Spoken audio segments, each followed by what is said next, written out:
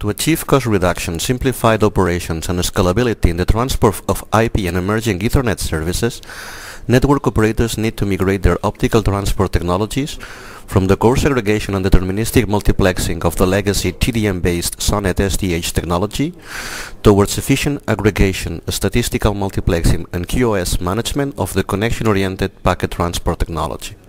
In this context, the packet transport technology that is best positioned as a solid alternative to SONET SDH is the MPLS transport profile. MPLS-TP is being jointly defined by the ITU-T and the IETF as a profile of the MPLS-TE architecture addressing the design and extensions of MPLS functionalities and characteristics targeted at the transport networks. Thus, this technology aims at combining the packet experience of MPLS, packet switching efficiency, traffic engineering and QoS, with the operational experience of SONET SDH, reliability, monitoring and link protection applied for IP transport services.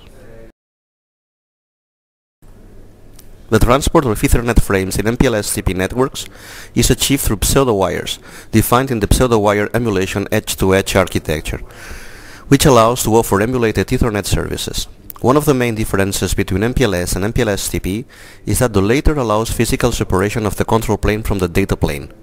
That is, no in-band control plane is needed. Thus, MPLS-TP transport networks can be fully operated under either a management plane or an out-of-band control plane based on the GMPLS PCE architecture. In this demo, we present a hybrid-operated MPLS-TP transport network where the setting up, release and control of both MPLS-TP tunnels, that is PSC-LSPs in the GMPLS terminology, and the pseudo-wires are done in an automatic and coordinated way between the GMPLS PCE control plane and the management plane. Specifically, the GMPLS PCE control plane is used for the dynamic establishment on MPLS-TP tunnels and the management plane for the automatic establishment of pseudo-wires we have configured the GMPLS control MPLS-TP pseudo-wire nodes to follow the displayed network topology, which is configured through our application for the configuration of the ADRENALINE testbed, AdNetConf. The PCE is collocated at PE2. Once the transport network is up, we proceed to quantitatively evaluate the average and the standard deviation of the setup delay and restoration delay when using either source routing or the PCE-based path computation. The GMPLS-controlled MPLS-TP pseudo-wire nodes are deployed in a Linux PC platform with a dual-processor architecture, as shown in the video. The nodes are equipped with either one or two quad-port copper gigabit Ethernet PCI Express network interface cards and one or two optical 10 gigabit PCI Express network interface cards with an XFP transceiver port from Myricom and a DWDM tunable OTN XFP transceiver from Menara Networks. The logical architecture of the nodes is composed of two main elements, the GMPLS-enabled connection controller and the MPLS-TP pseudo-wire label forwarding engine. The former is constituted by five GMPLS protocol agents, the local link resource manager, OSPF-TE routing, RSVP-TE signaling, and path computation, as well as the hardware abstraction layer to configure the MPLS-TP forwarding engine. On the other hand, the implementation of the MPLS-TP pseudo-wire label forwarding engine is based on the Click Modular Router, which is an open source software for deploying flexible and configurable software routers. The video shows an example of an emulated Ethernet service for a point-to-point -point connection between two customer edges, CE1 and CE2. Provider edges 1 and 2, PE1 and PE2, are the ingress and egress MPLS-TP nodes respectively. An attachment circuit is the physical or virtual circuit attaching a CE to a PE. For the Ethernet service, the attachment circuit is an Ethernet port. In order to dynamically provision the Ethernet service between PE1 and PE2, the management plane first requests the provisioning of a bidirectional MPLS-TP tunnel to the GMPLS controller of the ingress PE. That is a soft permanent connection. Upon reception of the provisioning request, the source node can either compute a shortest path using a modified Dijkstra algorithm, which only considers the T-links having sufficient unused bandwidth, or delegate the computation to the PC. Once established, we can check connectivity between clients with the help of the ping application.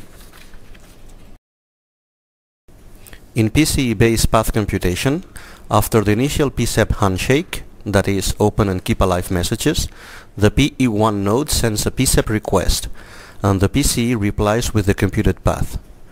In any case, the computed route, PE1, P1 and PE2 in the example, is passed to the signaling agent as the explicit route object.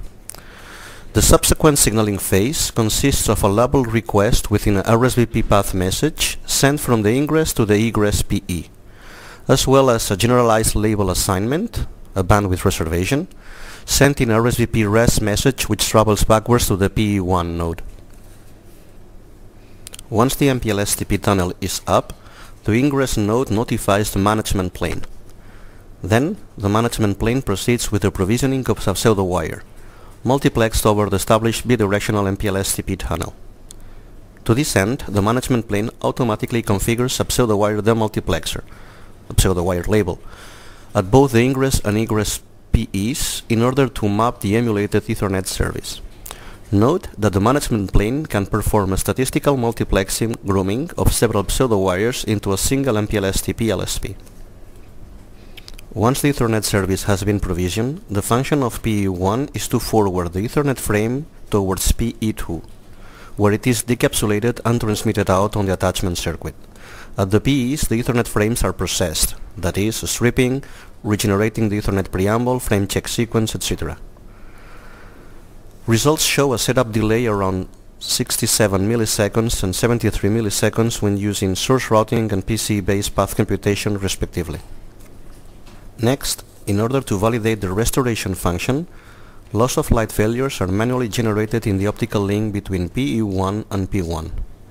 Failures are detected by the DWDM tunable OTN XFP transceiver at node P1 and reported back to the GMPLS connection controller. From the control plane signaling perspective, the node detecting a failure sends an RSVPT notify message to the ingress node with an error spec object indicating the failed link.